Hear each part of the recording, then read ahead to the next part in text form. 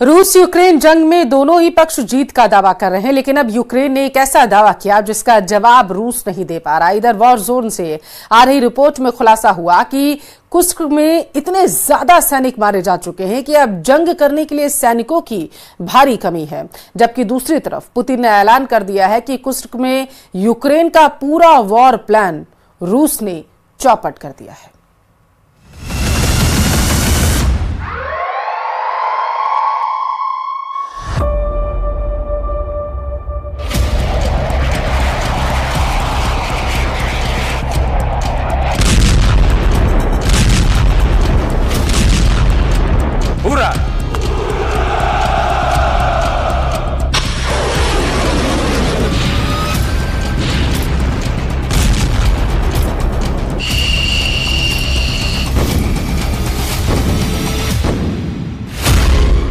Putin पर भारी सितंबर युद्ध।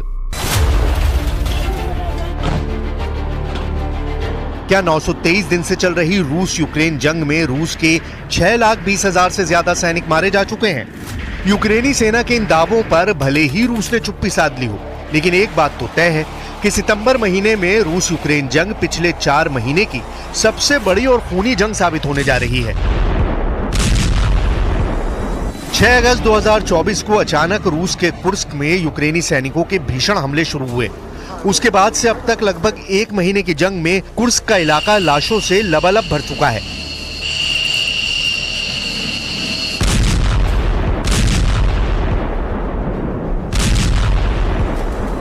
हालात ये हो गए हैं कि एक तरफ़ जेलेंस्की दावा कर रहे हैं कि उन्होंने रूस में घुसकर कुर्स्क पर कब्जा कर लिया है। तो वहीं दूसरी तरफ़ पुतिन डंके की चोट पर कह रहे हैं कि यूक्रेन को कुर्स्क पर हमला करना बेहद भारी पड़ चुका है।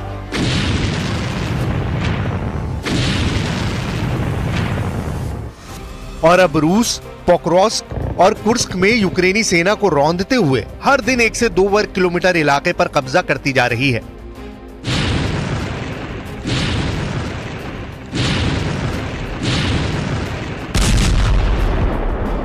पुतिन के इन दावों के बावजूद अब यूक्रेनी सेना ने ऐसा दावा किया है, जिसने पूरी दुनिया को हैरान कर दिया है। जरा इस एनिमेशन के ज़रिए देखिए, यूक्रेनी सेना पोक्रोस्क कुर्स्क में रूसी सेना पर क्या दावा कर रही है।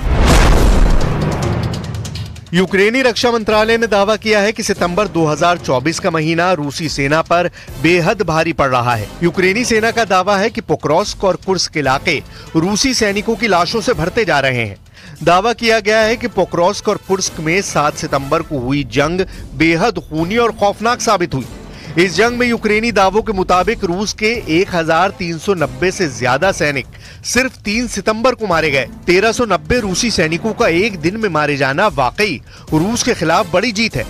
वॉर जोन से आई रिपोर्ट के मुताबिक रूसी सेना पर यूक्रेनी सेना ने तोप टैंक बख्तरबंद और भारी हथियारों से लैस पैदल सेना ने बेहद पास से हमले किए हैं जिसकी वजह से 3 सितंबर का दिन रूसी सेना के लिए काल साबित हुआ है Сьогодні доповідь головкому Сирського. Як і щодня, по кожній частині фронту, предметно щодо Покровська, Торецька, Курахівського напрямку, окремо операція в Курській області. І дуже важливо, що абсолютно всі визначені завдання нашої курської операції реалізовані. पुतिन को हराना नामुमकिन है वहीं दूसरी तरफ राष्ट्रपति पुतिन ने साफ कहा है कि कुर्स्क पर हमला करना यूक्रेन को बेहद भारी पड़ चुका है रूस के राष्ट्रपति पुतिन ने पूर्वी रूसी शहर व्लादिवोस्तोक में कुर्स्क जंग पर बड़ा दावा किया है पुतिन ने दो टूक कहा है कि यूक्रेन का कुर्स का आक्रमण पूरी तरह से फेल हो गया है। पुतिन का साफ़ कहना है कि पूर्वी यूक्रेन के डॉनबास क्षेत्र में रूसी सेना को रोकने की कोशिश की गई थी, जो पूरी तरह से असफल रही है। पुतिन ने खुलासा करते हुए कहा कि यूक्रेनी सेना हमला करके रूसी सेना को भटकाना चाहती थी। रूसी सेना को प्रमुख इलाकों से खदेड़ना चाहती थी, लेकिन डॉनबास में यूक्रेनी सेना को रौंदा जा रहा है। पुतिन ने यहाँ तक दावा किया कि यूक्रेनी सेना सिर्फ कुर्स्क में ही नहीं बल्कि पोक्रोस्क में भी बुरी तरह से हार रही है В результате активных действий подразделений группировки войск «Центр» освобождены населенные пункты Орловка, Камышевка, Николаевка и Новожеланная Донецкой Народной Республики.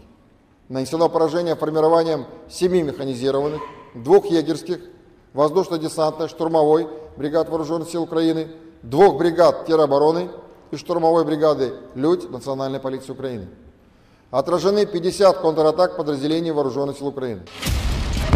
हैरानी की बात तो यह है कि लगभग तीन साल से चल रही जंग में राष्ट्रपति जेलेंस्की शुरू से ही जीत के दावे कर रहे हैं लेकिन ये बात समझ के बाहर है कि जिस यूक्रेन के 18 फीसदी इलाके पर रूस कब्जा कर चुका है वो जंग जीतने के दावे कैसे कर रहा है हम आपको दिखाते हैं इस वक्त यूक्रेनी सेना रूसी सेना की तबाही पर और क्या बड़े दावे कर रही है? यूक्रेन की राजधानी कीव में मौजूद राष्ट्रपति दफ्तर के दावों के मुताबिक, पिछले चार महीने की जंग रूस पर बेहद भारी पड़ी है।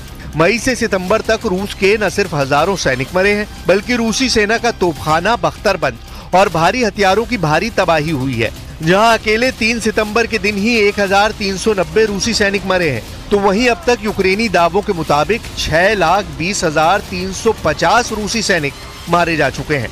यूक्रेन के रक्षा मंत्रालय का दावा है कि 3 सितंबर को रूस के 60 टैंक 27 बख्तरबंद लड़ाकू वाहन 30 तोपखाने प्रणाली 43 यूएवी 35 वाहन और ईंधन टैंक तबाह हुए हैं।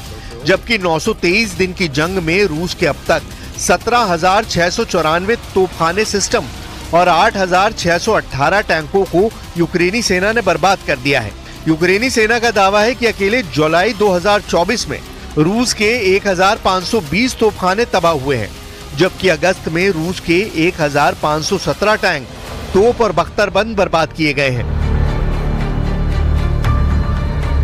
Сьогодні говорив з головкомом, Покровський напрямок, найбільше штурмів, не просто також на Краматорському, Торецькому, Куп'янському напрямках, майже дві сотні боїв щодобово по всьому фронту. І найважливіше зараз завдати окупанту максимальних втрат та відповідати на всі російські удари. इधर वॉर जोन से आ रही रिपोर्ट के मुताबिक पिछले 11 दिनों में यूक्रेनी सेना को भारी नुकसान उठाना पड़ा है हम आपको रूस और यूक्रेन के टॉप कमांडरों के जरिए दिखाने और समझाने की कोशिश कर रहे हैं कि कैसे जीत के दावे करने वाला यूक्रेन पिछले 11 दिनों में रूस से बुरी तरह से हार रहा है